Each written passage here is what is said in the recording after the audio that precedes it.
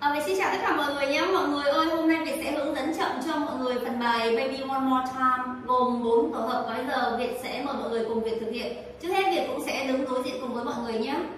Tổ hợp 1 chúng ta sẽ thực hiện à, Phần thực hiện à, bài của chúng ta hôm nay. À, Thì từ tổ hợp 1 chúng ta sẽ thực hiện từ phần chân phải của chúng ta trước nhé. Tổ hợp 1, bốn bước đầu tiên là bốn bước đá gót đông. Chúng ta tiến lên. À chúng ta cùng thực hiện nào. 1, 2, 3, 4 Sau đó chúng ta sẽ xoay người. Chúng ta đẩy chân và đánh tay cho bước 5 và 6 Xoay người sang bên trái. 5, 6 Kế tiếp chúng ta sẽ xoay người lại Và chúng ta sẽ lùi bằng hai bước khóa uh, Khóa mở chân. 7, 8 Đó là xong tổ hợp 1 Được chưa? Xong tổ hợp 1 Về thực hiện lại tổ hợp 1 này. 1, 2, 3, 4 6, 7, 8 Sang tổ hợp 2 mọi người sẽ rút phần chân phải về phía đằng sau. Và chúng ta thực hiện hai bước đá gót kép. 2, 2 3, 4 chúng ta sẽ bật người lên. Chúng ta sẽ rút phần chân phải. Và bật lên phần phía trước. Ra hình chữ V nhưng mà chữ V cách nhau. 3 và 4 đó từ phần chân của chúng ta đang như thế này. Chúng ta sẽ nhảy lên này ba, chân như này. Và hai mũi chụm vào nhau. Bốn, hai gót chụm vào nhau. Đó. Rồi, lại cho cái tổ hợp hai nhé.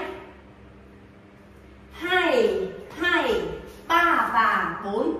Đó. Năm, sáu này. Năm và sáu, bảy và tám. Năm, sáu, bảy, tám là bước gót, mũi gót. Gót mũi gót. Đó. Gót, mũi gót. Thực hiện tổ hợp mà lại một hai này. Hai hai ba và bốn, năm và sáu, bảy và tám. Tổ hợp ba, chúng ta sẽ đi sang phía bên trái. Ba, hai, ba, bốn năm sáu 7, 8, 9 Riêng tổ hợp 3 chúng ta sẽ có 9 bước. Việc thực hiện lại cái phần tổ hợp 3 nhé.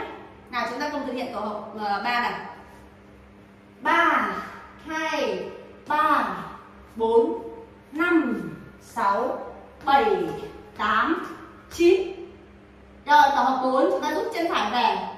Chống mũi. 4, 2, 3 4 xoay người.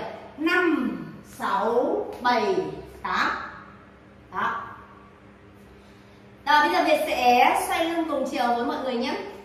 Chúng ta cùng thực hiện. Từ tổ hợp 1 chúng ta thực hiện phần chân phải trước nào. Bốn bước đá gót đơn tiến lên. 1 2 3 4 xoay người đẩy chân và đánh tay. 5 6 xoay người, lùi lại bằng bước khóa mở chân. 7 8 tổ hợp 2 rút chân phải về. Chúng ta thực hiện hai bước đá kép và chúng ta sẽ tiến lên thành bước ờ, chữ V rồi trụm mũi trụm gót. 2 2 3 và 4 5 và 6 7 và 8 tổ hợp 3 chúng ta sẽ đi xéo sang phía bên tay trái.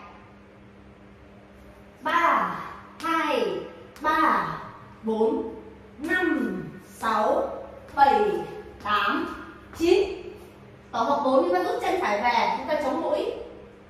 4 2 3 4 5 6 7 8 chúng ta xoay người. 5 6 7 8 Rồi, phần bài của chúng ta gồm 4 tổ hợp, chỉ có như vậy thôi. Bây giờ, tất cả chúng ta cùng sẽ nhảy nguyên một phần bài 4 tổ hợp. Việc sẽ đi liên tục nhé một, hai, ba, bốn, năm, sáu, bảy, tám, hai hai, ba và bốn, năm và sáu, bảy và tám, ba, hai, ba, bốn, năm, sáu, bảy, tám, chín, bốn, hai, ba 4 5 6 7 8 Rồi, chúng ta lại nhảy lại một lần nữa. Chúng ta bắt đầu. 1 2 3 4 5 6 7 8 2 2 3 và 4 5 và 6 7 và 8 3 2 3 4 5 6 7 8 9 4 2 3 4 5 6 7 8 Rồi, phần bài Baby One More Time gồm 4 tổ hợp tới đây là kết thúc.